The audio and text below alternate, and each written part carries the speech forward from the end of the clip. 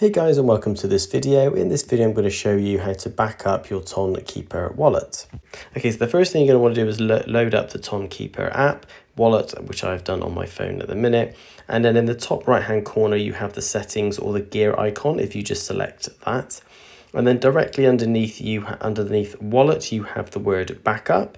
So this is where we're going to actually set up the backup. So if you just select that, so here I've done my last backup was on June 19th, 2024. Okay, so here we're now going to select manual backup on.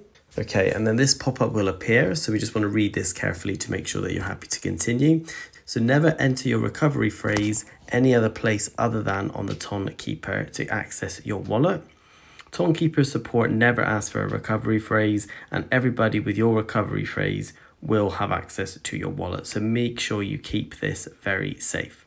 Okay, so we're happy to continue, just press continue. It probably will ask you for a passcode. Mine does my Face ID. So at this point, it will now show your recovery phrase. I've obviously blurred mine out because that is for security. You need to keep this very safe and not tell anybody.